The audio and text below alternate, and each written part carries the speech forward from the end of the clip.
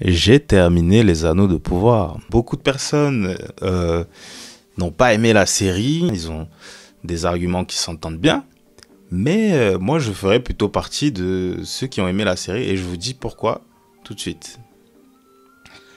Euh, alors, si vous, si vous avez déjà regardé quelques vidéos de ma chaîne, vous avez constaté que bah, l'une des premières vidéos que j'avais faites, c'était sur les anneaux de pouvoir. J'en ai fait plusieurs. D'ailleurs, celle-ci, c'est peut-être même pas la dernière, d'ailleurs. Et euh, donc, au début, enfin, ce que j'avais dit dans cette vidéo-là, c'est que euh, dans ma toute première vidéo sur le sujet, c'était que bah, la série, euh, il y a une trahison, en fait, de, l'œuvre de Tolkien, hein, étant donné qu'il y avait énormément de choses qui étaient montrées dans les trailers et dans les premières images de la série qui ne collaient pas comme par exemple le fait euh, d'avoir des elfes noirs sur la terre du milieu, ou d'avoir des nains noirs, ou d'avoir des hobbits noirs, etc. Et que et la, et la peur qu'on avait, c'était que euh, le, la série ne s'embarrasse pas en fait à nous expliquer pourquoi, parce que ce n'est pas pas logique hein, par rapport au livre. Et effectivement, c'est vrai que la série ne s'est pas vraiment embarrassée à nous raconter l'origine de, de, ces personnages, que ce soit les elfes, les nains, les noirs, ben voilà. La série pose le ton, met ses personnages. Vous faites avec ou sans, c'est votre problème. Et voilà. Donc ça, c'était la plus grosse crainte. Et on se disait, bah voilà, putain, ça va être une série ultra woke. Euh, euh, et il n'y aura aucune histoire à raconter derrière. Ah, écoutez, force est de constater que moi, quand j'ai... Enfin, dès le premier épisode, en fait, dès que j'ai commencé la série, je me suis rendu compte d'un truc, c'est que cette série, euh, elle n'avait pas vocation en fait à, à se baser sur ce que les livres disent, à être fidèle. Elle n'avait pas vocation à être fidèle aux écrits des livres. Parce que déjà, tu vois qu'il y a plusieurs euh, choses qui se passent en même temps qui ne sont pas censées se passer en même temps. Par exemple, euh, l'arrivée de Sauron en Terre du Milieu, c'est censé être au début du deuxième âge. Euh, on va dire dans les années 500, comme ça, du deuxième âge. Alors que la naissance des mecs comme Isildur. Bon, ça, c'est pas au premier épisode, c'est au 3, je crois. Mais bon, vous avez compris. Oh, les mecs, la naissance de mecs comme Isildur, bah, c'est à la fin du deuxième âge. Donc déjà, on se rend compte qu'il y a plusieurs milliers d'années qui ont été compressées en une seule. On peut remarquer que certains personnages, comme euh, bah, Albrand, n'existent pas. Euh, sa rencontre avec Galadriel, euh, le fait que euh, Celeborn, on ne le voit pas, il est laissé pour mort.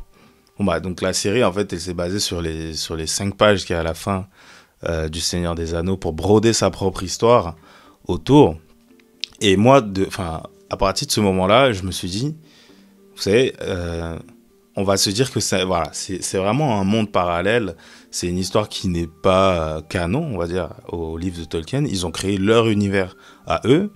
Certes, ils capitalisent sur le nom Le Seigneur des Anneaux, mais voilà, c'est une histoire qui se, qui se tient toute seule. Enfin, ça n'a que de Seigneur des, Anneaux le nom et un grand, enfin en filigrane, il y a des histoires qu'on connaît, des personnages qu'on connaît qui sont liés au Seigneur des Anneaux, mais ce n'est pas l'histoire du Seigneur des Anneaux dans le Silmarillion du deuxième âge que vous connaissez. Et une fois qu'en fait on s'est mis ça en tête et qu'on ne qu'on ne qu'on n'essaie pas de se référer à chaque fois à ce qui est écrit dans les bouquins, bah au final la série elle passe elle passe. Donc moi, je vais vous passer tout le côté euh, euh, tel, pourquoi il y a des noirs, pourquoi il n'y a pas des machins. Au final, on s'en fout. La série a pris suffisamment de liberté à ce niveau-là euh, pour qu'il n'y ait rien à dire en fait. Hein. Les personnages ils sont là, qu'est-ce que tu veux dire? Ça, on s'en fout. Ah, ce qui va nous intéresser, c'est l'histoire en elle-même, la série en elle-même, qu'est-ce qu'elle nous raconte vraiment? Elle va nous raconter, bah, maintenant que la série est terminée, bah, voilà, je, enfin, je vous le dis, hein, je vais spoiler directement euh, jusqu'à l'épisode 8. En fait, ça nous raconte cette, cette, cette saison 1, pour moi, c'est un peu comme un prologue à d'autres saisons qui vont venir après. Donc, un prologue qui va nous raconter euh, l'arrivée la, de Sauron. Ça va nous expliquer le début de la création des anneaux de pouvoir. Et ça va nous expliquer à peu près quelles sont les, pardon, quelles sont les relations entre les différents peuples de la Terre du Milieu aujourd'hui. On sait que voilà, les elfes, ils ont une société euh, qui est dirigé par Gilgalad, le haut roi. On sait qu'il y a l'île de Numénor à côté des hommes qui ont trahi les elfes et qui ont une position ambiguë aujourd'hui par rapport à ça. On sait qu'il y a les Harfoot qui sont au milieu de tout ça. On ne sait pas encore trop quel est leur rôle hein, en réalité, mais on sait que ça va devenir euh, les hobbits. On a leur origine. Et puis on a les humains au milieu de tout ça encore, qui eux, on ne sait pas, c'est ni des gentils ni des méchants. Et voilà. Et c'est une saison qui nous permet de mettre, euh, de set, on va dire, en fait, l'univers. Et je pense que dans les saisons d'après, la vraie histoire qu'ils veulent nous raconter va commencer. Parce qu'on va pas se mentir, effectivement, il y avait quand même euh, très peu euh, d'événements qui sont déroulés pendant cette saison. Tu sens qu'ils avaient une, une, histoire très courte à raconter. Hein. Bon, bah, la, la, création des anneaux, le Mordor, machin et tout. Et ils se sont dit, ah putain, il faut qu'on les tire sur 8 épisodes et tu sens que ça traîne en longueur. Je vais continuer dans les points possibles. La série, elle est très belle. Je pense que personne, personne ne va discuter ce point.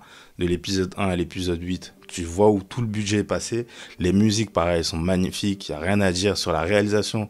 Tout est beau dans la série. L'épisode 8, j'aime beaucoup, il se passe beaucoup de choses. D'ailleurs, l'épisode 8, le problème, c'est que comme ça s'accélère tout de suite, on sent vite que, enfin, on sent que ça accélère les événements à, l'épisode 8. En fait, il y a un rythme de fou dans ce dernier épisode. C'est un problème parce que, bah, du coup, les épisodes d'avant accusent de, du rythme lent qu'ils avaient, hein, à cause de, si l'épisode 8, si le rythme de l'épisode 8, c'était le même rythme qu'on avait dans dans les épisodes avant, la série aurait été bien meilleure. Mais là, il n'y a que le dernier épisode et quelques autres épisodes qui ont ce rythme-là. Dommage. Mais voilà, c'est ce qu'ils ont, c'est ce qu'ils ont décidé de faire. La dynamique entre Galadriel et Elrond, moi j'aime beaucoup à la fin. Et alors, c'est vrai que Galadriel, elle est insupportable pendant toute la série. Ça, je l'ai suffisamment dit. Mais quand on voit ce qui se passe au dernier épisode, on voit très bien qu'elle a gagné beaucoup en maturité. Alors c'est bizarre dit comme ça, parce que Galadriel, elle est censée avoir plus de 1000 ans. Elle, elle était là bien avant le soleil, là depuis le premier âge, depuis l'âge des arbres. Et c'est bizarre de se dire que c'est maintenant qu'elle gagne en maturité. Mais encore une fois, ça, ça marche dans les livres. Quand vous êtes dans, le, dans la série, quand vous faites vraiment fi de tout ce qui est dit dans les livres, bon bah voilà, vous, vous sentez que Galadriel, c'est un personnage qui, qui n'a pas vraiment gagné en maturité. Elle n'a jamais vraiment été confrontée à ses propres démons. Et là, dans le dernier épisode, elle l'est. Et à la fin de l'épisode, tu sens que bah là, on a la Dame de Lorient qu'on a l'habitude de voir. Là, elle a été confrontée à, Albrand, un personnage qu'elle a peut-être même aimé, on ne sait pas trop, c'est ambigu, qui lui a proposé euh, le pouvoir. Elle a, elle a failli y goûter en fait. Et elle s'est réfrénée et elle s'est rendue compte que c'est même peut-être à cause d'elle que le mal revient sur la Terre du Milieu. Elle gagne beaucoup en maturité, elle décide de se calmer. Et euh, là, on se, dit, bon, bah, on va retomber sur une Galadriel telle qu'on la connaissait. Et c'est peut-être ça qu'ils auraient, voulaient faire. Nous montrer la montée en maturité, on va dire, de Galadriel. Bah, pour moi, ça marche dans le cadre de la série, même si, voilà, si on prend en compte euh, ce qui se passait dans les livres, ça ne marche pas. Mais pour ceux qui ne connaissent pas Le Seigneur des Anneaux, ça marche très bien. Euh, autre chose que j'ai bien aimé, bah, peut-être il y a beaucoup de scènes émouvantes, notamment le départ de Nori vers l'est. Euh, moi, je sais pas pourquoi les gens ils ont des problèmes avec les Harfoot. Moi, j'ai kiffé ce peuple, j'ai kiffé leur histoire, j'ai kiffé l'aventure de Nori. Moi, j'ai envie de savoir où elle va avec ce mec. D'ailleurs, pourquoi elle va avec ce mec? Pourquoi? Il y en a qui disent que c'est Gandalf, le mec. Euh, moi, je ne sais pas. Je ne suis pas sûr que c'est Gandalf. Il arrive trop tôt par rapport au livre. Mais encore une fois, euh, la série ne se base pas sur les livres. En fait, ils ont pris tellement de liberté que ça, le mec, ça peut être n'importe qui. Ça peut être euh, l'un des e-stars euh, qu'on connaît, ça peut être un nouveau.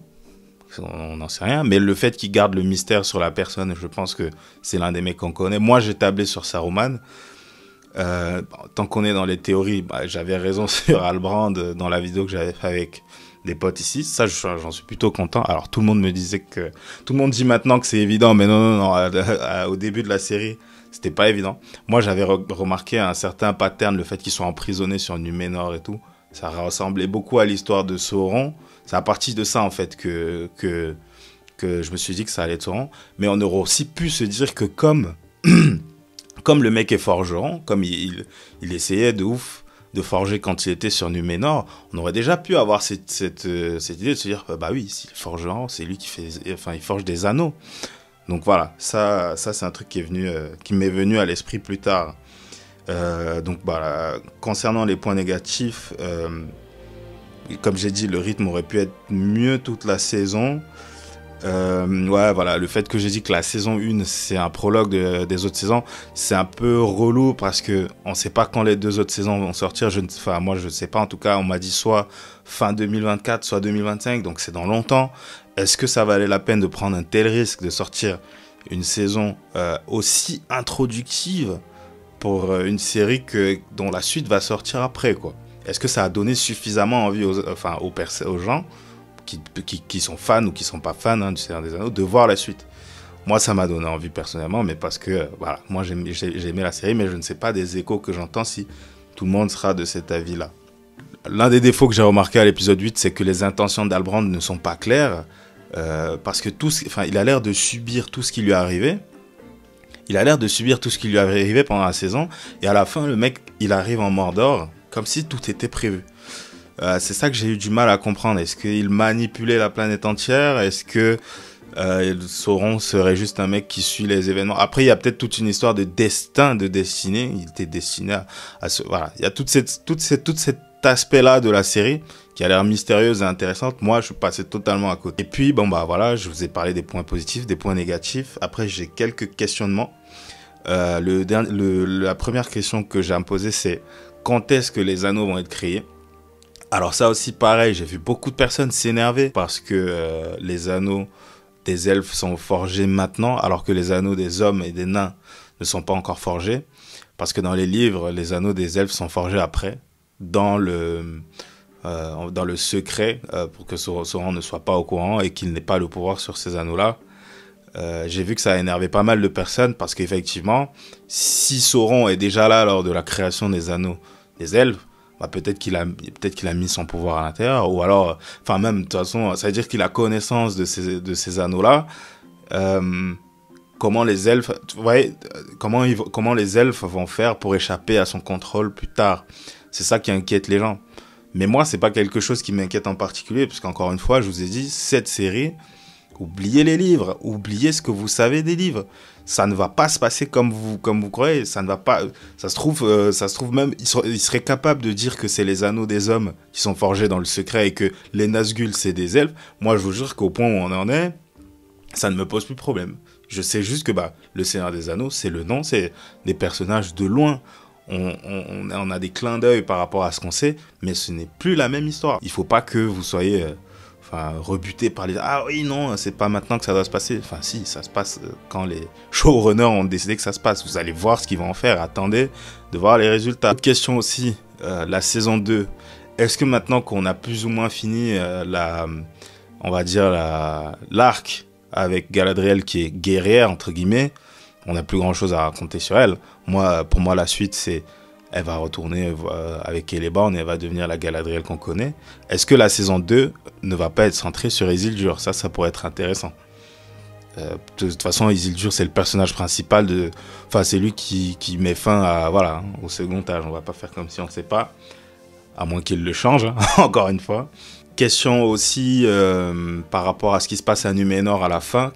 Qu'est-ce qu'elle a vu, la fille d'Elendil, quand elle parlait au roi? Ça, on ne sait pas encore. Question, est-ce qu'ils vont respecter le fait que Farazon prenne le pouvoir? D'ailleurs, comment ça va se passer quand il aura pris le pouvoir? Est-ce qu'il va encore se faire, euh, on va dire, corrompre par Sauron Toutes ces questions-là, je les pose parce qu'elles sont différentes de, des écrits. Enfin, toute l'histoire est déjà suffisamment différente des écrits pour qu'on sache que ça ne va pas se passer comme ça dans la série. Et donc, pour moi, ce sera intéressant de regarder tout ça. Voilà, vous avez mon avis sur la série. Pour résumer, moi franchement j'ai beaucoup aimé, j'attends la saison 2. Euh, on arrête de, se dire que c'est pas comme dans les livres, hein. on a compris, c'est pas comme dans les livres, c'est une série à part entière, il faut la regarder telle quelle. Quand vous faites ça, franchement, bah, ça, ça, moi en tout cas de mon côté ça passe, j'ai beaucoup aimé. Euh, je sais pas pourquoi les gens comparent à, à House of the Dragons, pour moi ça n'a absolument rien à voir. Euh, je regarde d'ailleurs aussi House of the Dragons en ce moment et peut-être qu'à la fin de la saison, je vais aussi donner mon avis comme là. Euh, c'est pas, pour moi, il n'y a pas une qui est meilleure une que l'autre. Hein. Les deux sont excellentes. Donc euh, moi, je vous, je vous demande de donner votre avis dans les commentaires, de mettre un like si vous avez aimé la vidéo, de me dire si vous voulez qu'on fasse un Cool Match Show 2 avec, avec des potes, comme on avait fait en début de saison pour que chacun donne son avis aussi. Et si vous êtes intéressé pour un avis sur d'autres séries comme euh, House of the Dragons et autre chose. Merci d'avoir regardé. Ciao.